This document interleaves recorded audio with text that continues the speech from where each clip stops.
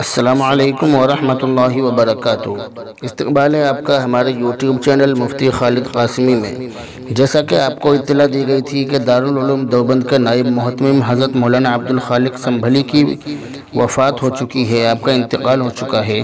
تو ان کے انتقال پر جمعیت علماء ہند کے قومی صدر مولانا محمود اسد مدنی صاحب نے ایک پیغام دیا ہے، آپ اس کو سماعت فرمائیے۔ جمعیت علماء ہند کے قومی صدر مولانا محمود اسد مدنی نے دارالعلوم دیوبند کے نائب محتمی و استاذ حدیث حضرت مولانا عبد الخالق سنبھلی کی وفات پر انتہائی حزن و ملال کا اظہار کیا ہے۔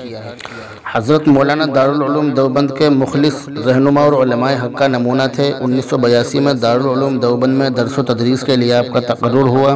تدریس کے ساتھ آپ نے اہم انتظامی ذمہ داریاں بحسن و خوبی انجام دیں۔ دو ہزار آٹھ میں نائب محتم بنائے گئے۔ تا دم واپسی فائز رہے۔ اس سے قبل خادم الاسلام ہاپوڑ اور جامع الہدا مراد آباد میں تدریسی خدمات انجام دیں۔ مولانا موصوف کے پچاس سالہ دورے درس و تدریس میں ہزاروں طالبان علوم دینیہ فیضیاب ہوئے۔ مولانا موصوف کریم النفس شیری بیاں ہر دل عزیز اساتذہ میں سے تھے۔ اس کے علاوہ آپ نے خود کو ایک بہترین منتظم کے طور پر بھی ثابت کیا۔ نیز تصنیف و تعلیف کے میدان میں بھی اپنی وقی خدمات پیش کی آپ دارالعلوم دیوبند کے اجل فضلہ میں سے تھے۔ مسلک اہل سنت والجماعت اور مشرب اکابر دارالعلوم دیوبند کے پاسدار تھے اور باطل افکار و اذہان کی اصلاح کے لیے ہمیشہ کوشاں رہے۔ مولانا مدنی نے کہا کہ مولانا موصوف کچھ دنوں سے کافی بیمار تھے۔ ان کا علاج دہلی میں بھی بھی ہوا۔ اس موقع پر مولانا مدنی ان کی عیادت کے لیے جعفر آباد میں ان کے بھتیجے کی رہائش گاہ بھی گئے تھے۔ صحت خراب سے خراب تر ہوتی جا رہی تھی۔ بلاخر وقت غذا آن پہنچا۔